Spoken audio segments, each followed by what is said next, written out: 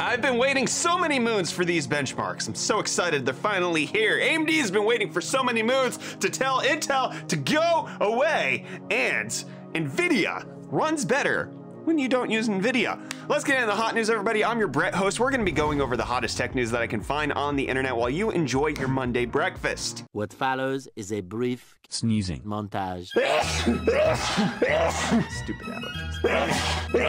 I'd like to be done sneezing now, body.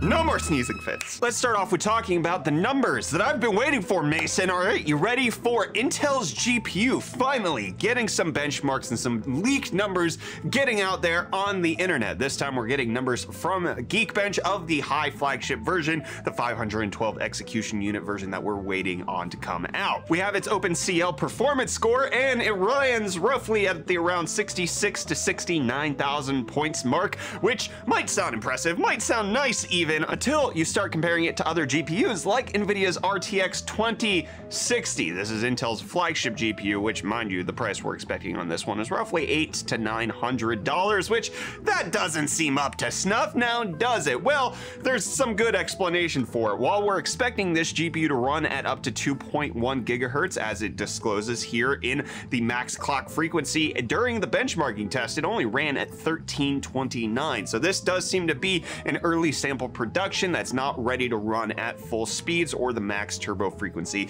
that the GPU can enable. But based on those calculations, if it's running at 69,000 points at 1.3 gigahertz, if it can scale up to 2.1 gigahertz, we're looking at roughly a 6800 level in performance. Obviously, the price would have to be well below what a 6800 is to get you to jump ship over to Team Blue, but it does look like if they can figure out clock speed, we might have a healthy competitor on our hands. And I'm just gonna anxiously anticipate more benchmarks as we get closer to the launch of Intel's upcoming Alchemist GPU. Let me know what you think of the Alchemist performance numbers down below in the comments while I reach down below to pick up today's video sponsor. Yeah, that's right, we're talking about Drop and their PC37X headset, which is on a very generous sale for this holiday shopping season. My friends, I've had this headset for over two years at this point, and I absolutely love it because it's part of Drop's partnership with Sennheiser, so you get ridiculously good audio quality in here, but it also has a killer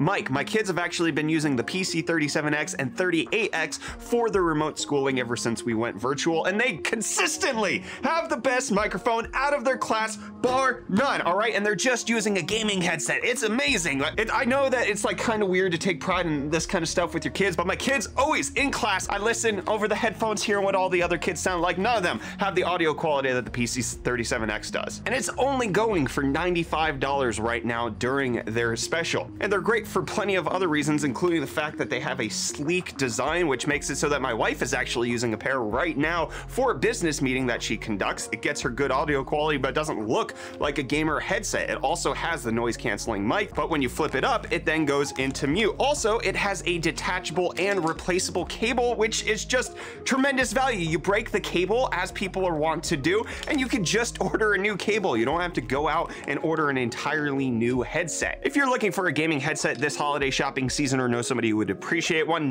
$95 gets you some really good audio quality, really good microphone quality, and you're gonna be on your way to greatness with these. So check them out at the link in the video description. Big thanks to Drop for sponsoring today's episode of Hot News. Now let's talk about somebody trying to drop somebody else, and that's AMD trying to get rid of Intel in their stacks. They're finally rolling out their MediaTek branded internet kit, which is something we talked about in previous episodes of Hot News, that AMD, one of the things that they're lacking when it comes to their laptop and full stack production for hardware is the fact that they typically have to rely on Intel to produce something like a Wi-Fi chip in order for their motherboards or their laptops to ship. Well, no longer. AMD now launching their Wi-Fi 6 and Wi-Fi 6 RZ660 controller based on their partnership with MediaTek, which will allow them to get Wi-Fi 6E as well as Bluetooth 5.2. And so now AMD can continue the march forward of getting Intel out of their way, out of their life, and never, ever, ever, ever getting back to together. And a lot of people will never, ever, ever use a game that uses Denuvo DRM specifically because it penalizes people who actually pay for the version of the game, whereas people who have played cracked versions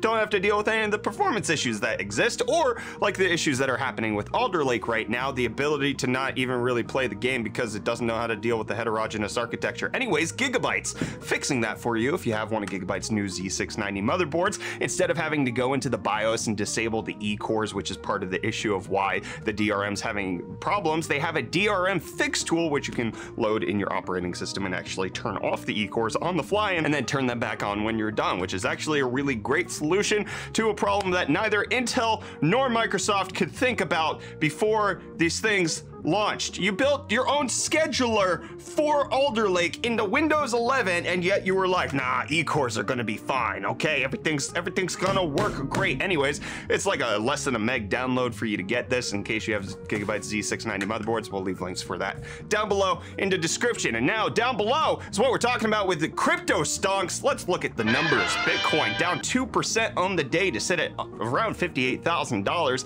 Still under that $60,000 mark over the last week. It has had a rough little trajectory. Ethereum also down 3.5% to be at 42.41, and Dogecoin also down 3% to be at 22 cents. But that is the opposite of what happened with the meme stonks GameStop on Friday. Pwah! Up 8.89% to sit at 228.80. It's just been it's on a been on a rip tear. Look at GameStop being all high and mighty over its like last month being higher. 233.60 is the highest points reached in the last month, but closing Friday 228. 80.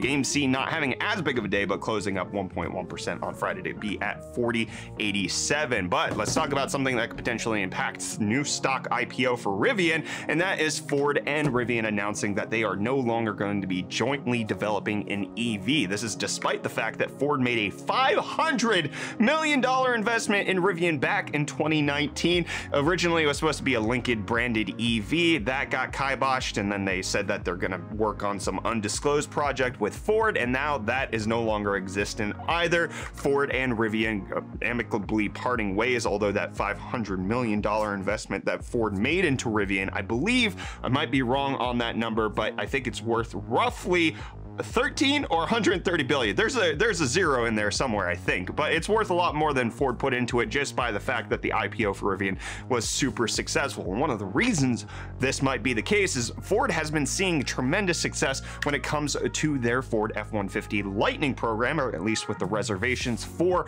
the upcoming electric pickup truck that we're expecting them to debut sometime next year. And what we found out is that the 150,000 res reservations that they have for the F-150 Lightning does not include fleet pre-orders. This is just like random people off the street. So it's a really great reservation number. It's approaching 200,000. That's more than they're going to be able to produce in the first three years, according to them. And so they're actually seeing those sell out. But it doesn't include the Ford Pro program, which is like their fleet customers. So how many are they actually going to have to make? Anyways, showing that Ford doesn't need Rivian and the partnership between the two companies happened at a time where they were both less certain of what their futures were going to be, like Ford not ha yet having the Mach E released and Rivian not having their huge rollout for Amazon delivery vehicles, them not having the R1T being rolling off the production lines, and them also not having an IPO, which they did with a spec. So it's a completely different world now in 2021 between Ford and Rivian. Ford made their money. Rivian still looks like they're going to be doing pretty okay.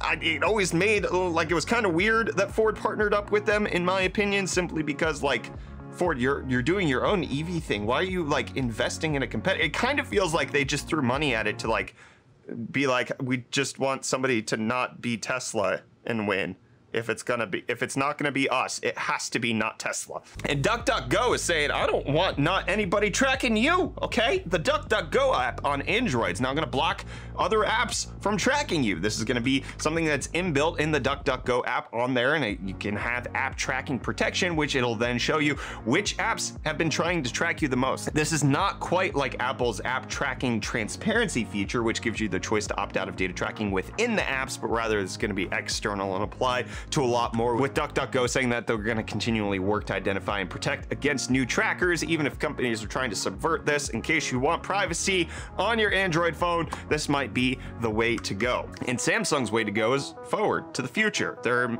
they're they're they're announcing. They recently announced DDR6 at their Samsung Tech Day, which uh, we just had DDR5, but showing that it can run at up to 17,000 megabits per second compared to DDR5's current 8,500, so roughly double what we're seeing from DDR5 at the current moment. Them also talking about GDDR7 and 6 Plus production, which could come out to GPUs and help with memory bandwidth and the like. Not a ton of ETA is going to be next year into the future. DDR5 obviously going to take a while to adopt. DDR6 likely going to be taking a while to adopt as well. So don't necessarily quote this as coming to a PC near you, but just something to get excited for, which something that I think it's it's a complaint that I do hear a lot, especially when it comes to like PCI Express 5.0. Why do we need PCI Express 5.0 when we don't even saturate 3.0? Because you want the standards ahead of where you're actually using the technology. As long as the standards continue to outpace the data throughput that you have, you don't have that as a bottleneck. Standards being ahead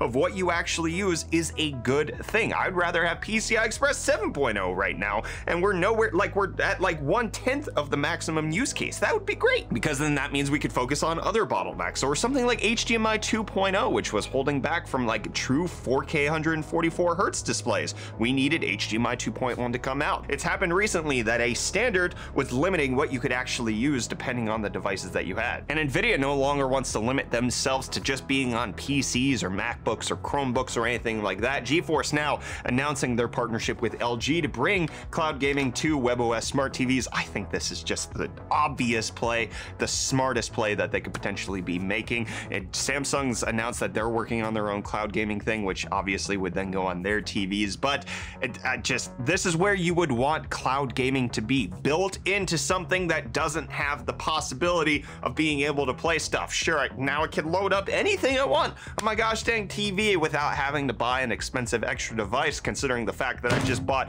a freaking $2,000 OLED TV. I want some gaming potentiality built into it. This makes a lot of sense, as long as they don't cap your frame rates like they've been doing, which is a pretty scummy move by NVIDIA. So, you know, use it if you want, but you could also not use NVIDIA's own OpenGL drivers when it comes to performing video games. Somebody developing their own NVIDIA Vulkan driver to run games that normally run on NVIDIA's OpenGL driver, but then finding that when you enable this custom Vulkan one, you get better frame rate, going from 121 FPS in the original Tomb Raider reboot to 151, which is insane. Obviously, that's a massive performance jump for just changing the driver stack that you're using. However, the developers of this saying that don't expect this in every use case. It's that's likely not what it's going to be. Just that it's a neat little uh, byproduct of some inefficiencies in NVIDIA's OpenGL drivers. And this has been a mightily inefficient episode of Hot News. I spent the first 10 minutes of it sneezing up a storm, so I'm gonna go rest and recover from my allergies, and I'll see you tomorrow for another episode of Breakfast breakfast with Brett. This is what we call these things now. Hot news tomorrow. Bye. Hot news. Hot news.